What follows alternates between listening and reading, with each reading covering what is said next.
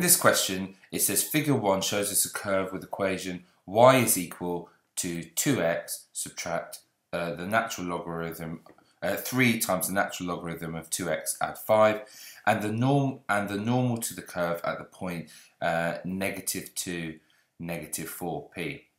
Okay, so this is the normal to the curve here at the point P. So at the point P, this here is the normal to the curve.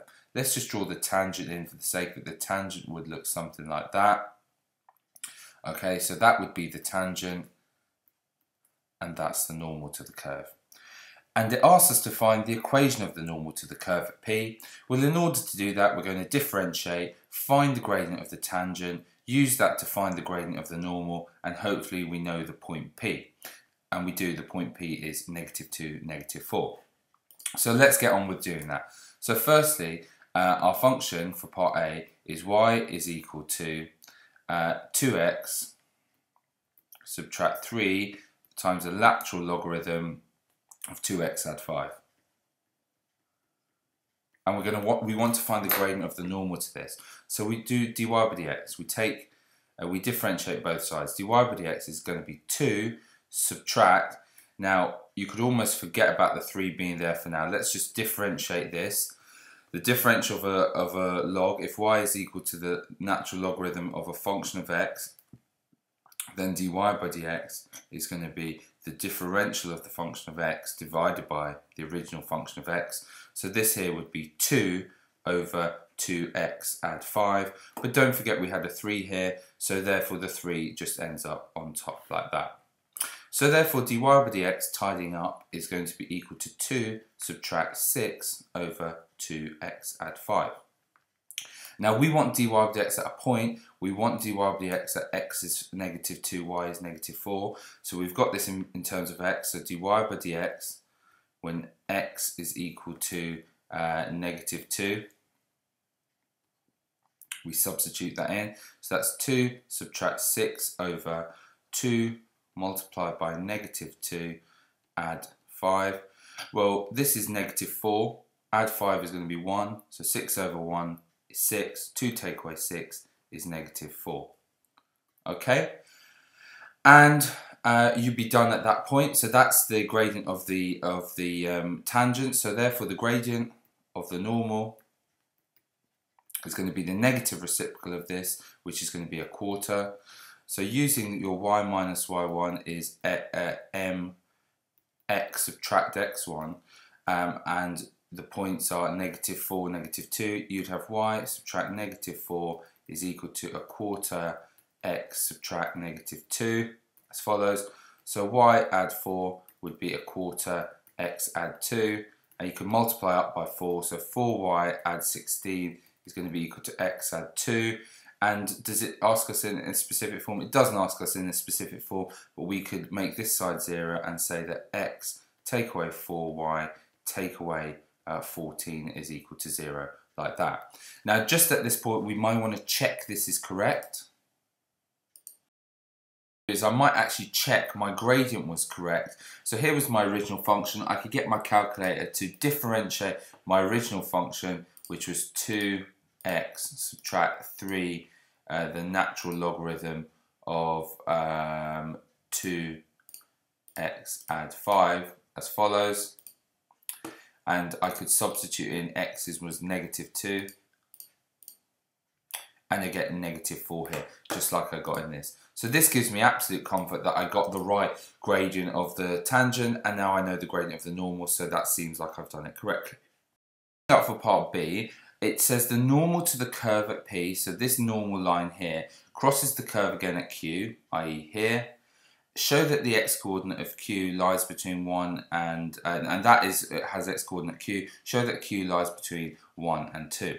So what we're trying to solve, we're trying to solve where the normal equals the uh, original curve function. So let's call my original curve function y is equal to um, 2x subtract 3 natural logarithm of 2x add 5. That was my original function. And my normal is this one here. Let me just write this as y, the subject of the formula. So 4y would be equal to x take away 14. So therefore y would be a quarter x take away 14 like that. So y is equal to a quarter x take away 14. Now we're trying to solve where these two things are equal each other. Okay, so we're trying to solve where this is equal to this. So we're trying to solve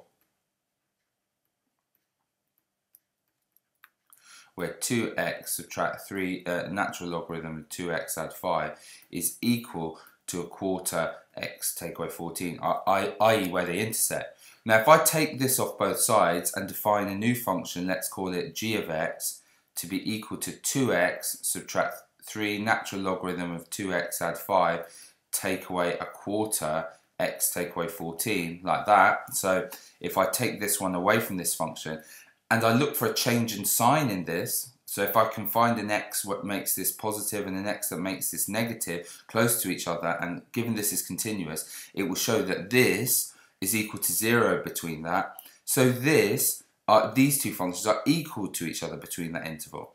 Now it's given us the interval. It tells us to check the interval between 1 and 2. So what we're going to do is we're going to type in g of 1.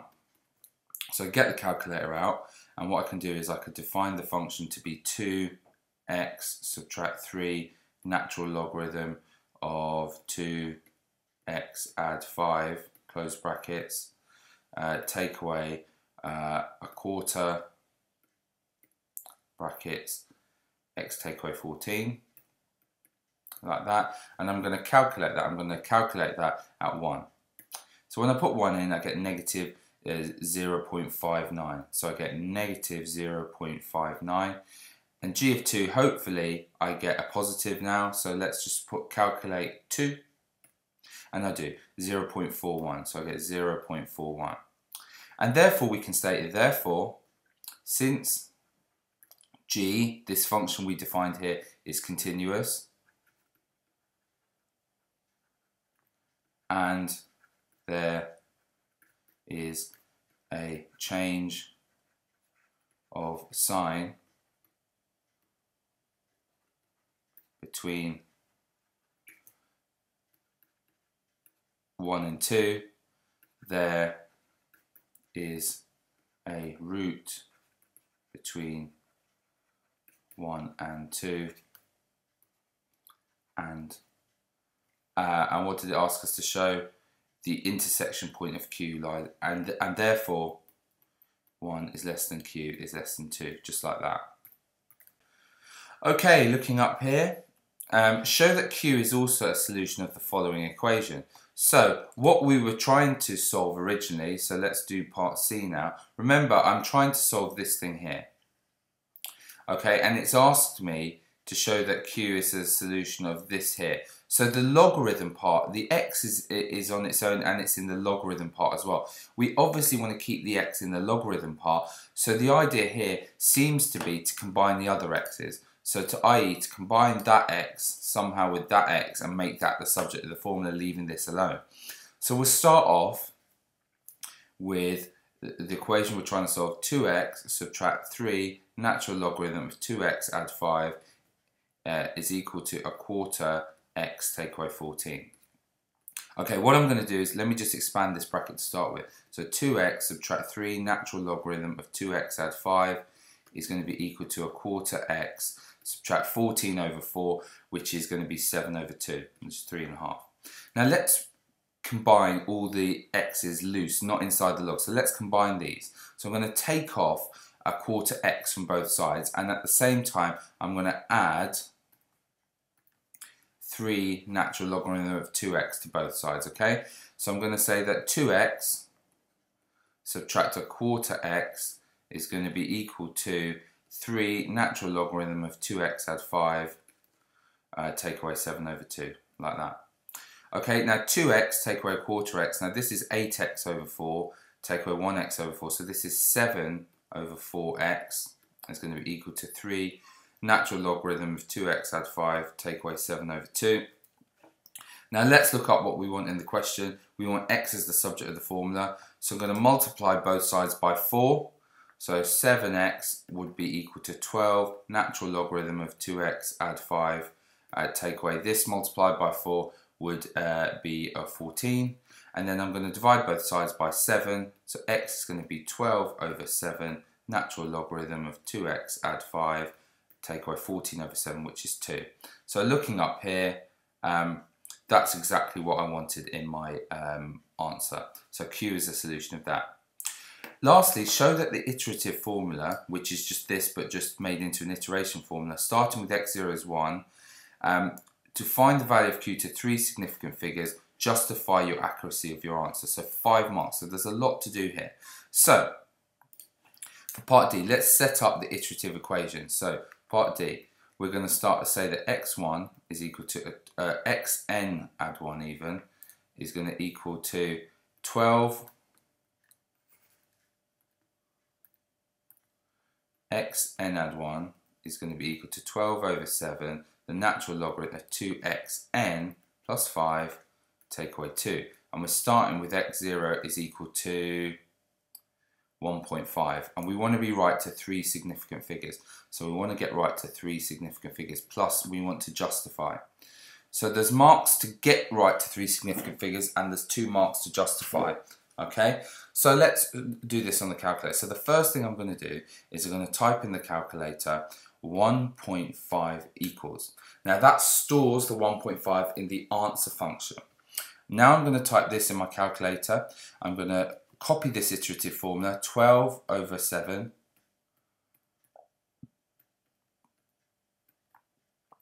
natural logarithm of 2 now, not x, I'm going to put Ans. So Ans, because I want it to remember the previous answer, plus 5, close brackets, take away 2. Now, pressing equals now is substituting my answer into this. And then if I press equals again, it will substitute whatever the answer to this is back into this iterative formula. So if I press equals, I get this. So if I want to be right to um, three significant figures, I'm going to write out um, it uh, a few times until uh, it stops moving to the third significant figure. So 1.56475. So I'm going to write x equals 1.56475 like that. Okay, and I could put a 6929 as well. I could put the 6929, no harm in doing that. Now press equals again. 1.5922876 so x, that was x1, x2 equals 1.59 2287644. 2287644, like that. What would x3 therefore be? 1.60385, so 1.60385, uh, 9406, 9406. Okay, so everything's still changing, so we're going to have to keep going with this. Press equals again. 1.6087, so x4, 1.6087, 00052, so 00052. Again, 1.6107, so x5 equals 1.6107, 2092. So 2092. And again, 1.61156, so x6 equals 1.611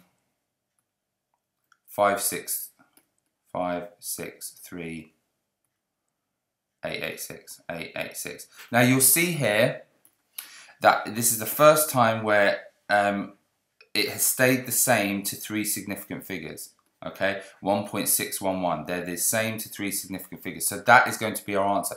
Let's just check that on our calculator by continually pressing equals. If we do you can see that 1.61 stays the same no matter how many times I press the equals. In fact that gets you to the answer there. So the answer um, the answer and we're looking for the answer to um, find Q so Q is going to be equal to 1.61 to three significant figures. Now we have to prove that is the answer. So what we do is we take Q, which is 1.61, and we go to its upper bound which is 1.615 and we go to its lower bound which is 1.605 and we check those answers into our change of sign formula which was the one that we used up here. We check it in our g of x. So g of 1.605 and g of 1.615. We check those and check for a change of sign. So get the calculator out again and go back up here to type in our g function. We did this before between 1 and 2, but now we've zoomed into a much closer answer. So we type in um, 2x take away 3 natural logarithm of 2x add 5 we close brackets take away fraction quarter x take away 14 close bracket. We calculate it at the following two answers. So we calculate it at 1.605 and we get this, a negative. So 0.0073, so we get 0.0073 and a negative at that. And we calculate it at 1.615 and we get a positive 0.00289. 0.00289 and we can state G continuous and change of sign. Therefore, Q lies between Q equals 1.61 to three significant figures and we're done.